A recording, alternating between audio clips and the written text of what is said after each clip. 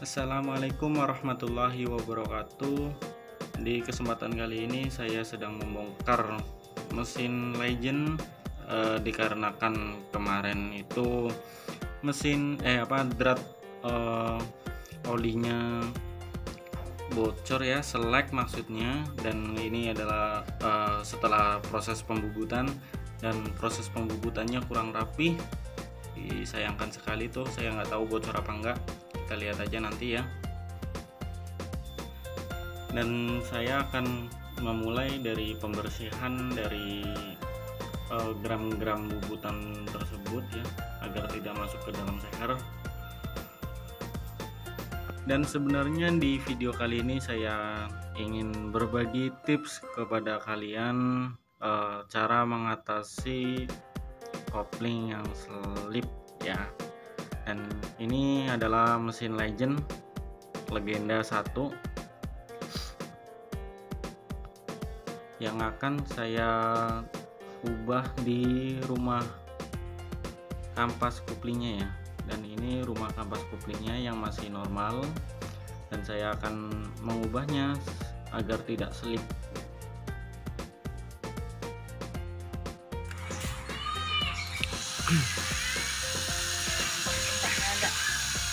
ini proses apaan bro.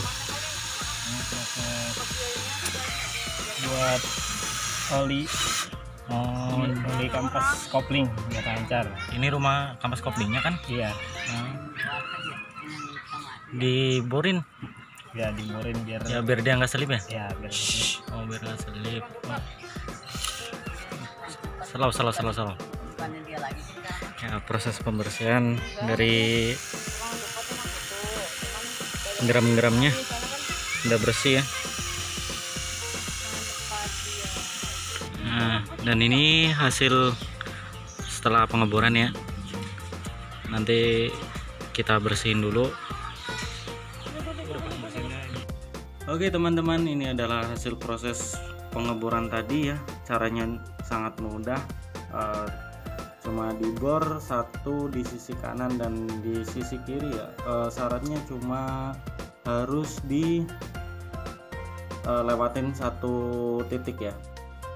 Bisa kita lihat di sini kampas kopling yang sebelah atasnya masih uh, maksudnya basah dan sisi bawahnya kering dan ini adalah fungsinya agar si kampas kopling ini terlumasi oleh oli ya agar tidak selip dan jika teman-teman mempunyai masalah atau kendala yang sama persis seperti kendaraan saya uh, boleh dicoba atau mungkin kendaraan teman-teman saat digas hanya uh, tinggi di RPM nya doang tidak ada tarikannya atau saat ditanjakan tidak ada tarikan boleh dicoba. Syaratnya cuma satu ya uh, harus dibor sisi kanan kirinya dan tidak boleh sejajar ya. Atau terlalu rapat juga tidak boleh ya.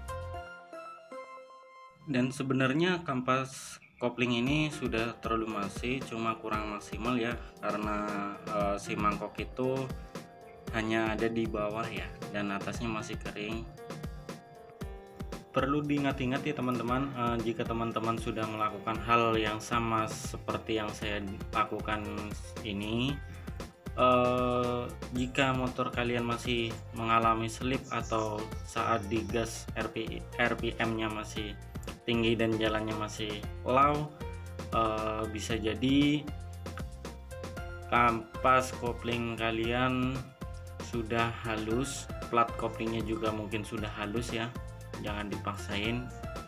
Ada baiknya cepat-cepat kalian ganti kampas kopling plus plat koplingnya ya satu set agar enak motornya